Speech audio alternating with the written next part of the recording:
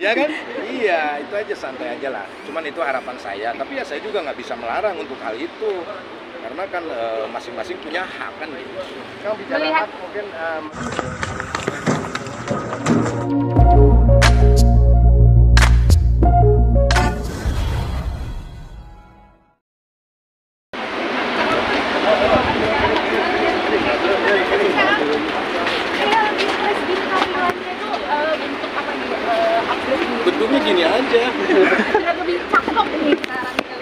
Ah, dari dulu juga cakep. Kalau untuk eh, mungkin sekarang menjaga hubungan dengan anak-anak, yang gimana nih Kang? Ya dijaga aja semampunya lah. Namanya juga manusia ya kan.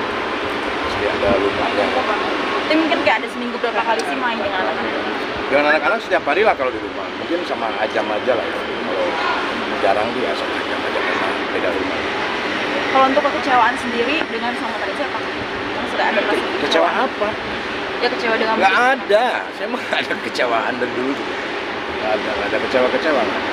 Kita saling mendoakan aja. Yang jelas sudahlah netizen juga udah nggak usah hujat sana hujat sini. Maafin aja lah namanya aja kalau ada salah. Tapi soal yang uh, mantan istri akan uh, kembali ke sebuah pemberian dan possible itu bakalan beneran gimana? Ya nggak tahu, saya juga nggak tahu itu ya. Ya udah, yang jelas kan saya sebagai ayam punya kewajiban. Poin punya kewajiban. Itu kan berita-berita dulu yang di up up lagi kan. Gitu. Saya pikir eh, ya udahlah, nggak usah jadi jadi besar-besaran lah. Saya juga mohon sama media juga kan kayak seolah-olah kita tuh saling sindir, padahal nggak ada nggak ada niat sekalipun untuk menyindir itu hanya ungkapan eh, kerinduan sama Kiki terus disambung-sambungin lah sama eh, apa namanya oknum-oknum lah gitu. Jadinya ribut deh. Gitu. Merasa kecewa nggak sih kan dengan ada postingan itu kan atau aja sebagai pria Merasa kecewa dengan postingan. merasa Postingan kecewa yang nggak? kaget dan kecewa nggak sih, Kang? dengan sikap dia maksudnya ada postingan tidak boleh membiayai jadi kan itu anak akang sendiri. Gitu ya masing-masing punya cara ya kan? Ya kenapa mesti perlu kecewa? Kan saya bukan siapa-siapanya kan anak ada Ya kan? Ya kan saya bukan siapa-siapanya nggak perlu kita kecewa ya udah. Eh, masing-masing orang punya cara mengekspresikan. Ya udah gitu. Udah aja nggak apa-apa. Kang mungkin eh, waktu di awal-awal nggak mungkin ya? Waduh. pertanyaan banyak eh, netizen yang menghujat Kang Sule sendiri, tapi sekarang malah berbalik netizen. ah masih ada juga. Masih ada Seperti apa juga tanggapan Kang? ya ya udah mau gimana lagi? Udah berjalan kok gitu loh udah ya kita nikmatin aja apa pun itu lah yang jelas kan yang terpenting itu manusia itu kan mendapatkan ilmu dari perjalanan kuatnya saya kan kuatnya anak-anak saya kesabaran kan gitu. Itu poin yang terpenting. Dan kita juga nggak merasa bangga kok kalau saat ini kita dipuji-puji gitu. Masih banyak kekurangan yang harus kita eh, benahi kan gitu. Kang, punten Kang, Kan, eh, dari pihak Mangga, mangga. pihak em, Natali juga meminta untuk berhenti menafkahi Kang. Ini sampai saat ini seperti apa sih Kang? nggak ada. Nggak ada. Itu ungkapan aja itu emosional. Emosional. Kan dari awal juga saya saya kasih tahu sama semuanya udahlah nggak usah hujat sana hujat sini. Eh, itu ungkapan emosional. Emosional aja sebagai manusia lah maafin aja lah kehilapan aja itu itu aja. Berarti sampai saat ini malah memang masih menafkahi Kang. Gua masih kan itu kewajiban saya sama anak saya Masih diterima Nggak jadi diambil mobil ya Kang? apanya Mobil dong Mobil nggak ya. diambil berarti.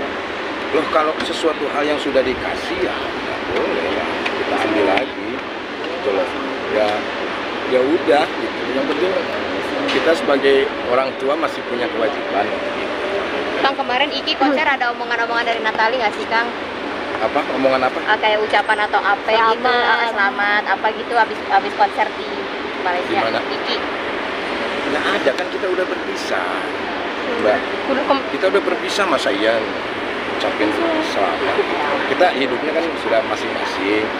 Kita tidak terlalu banyak berharap atas itu. Yang penting yang penting kan komunikasi sama Ajam kalau untuk saat ini ya. Ajam juga kan masih kecil Dipersulit nggak sih, Kang? Postingan Natalnya kemarin sudah ada komunikasi belum?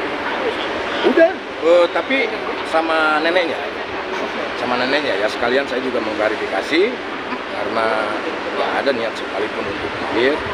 Dan itu kan ditulis sama salah satu akun yang seolah-olah saya itu menyentil nggak ada. Demi Allah Rasulullah nggak ada. Itu hanya kekangenan saya sama Iki. Dulu waktu saya Iki masih kecil ikut ikut manggung itu aja sih sebetulnya nggak ada nggak ada sama sekali. Dan saya udah udah tidak mau apa ya tidak mau ribut lagi lah. Ngapain nggak ada yang gitu.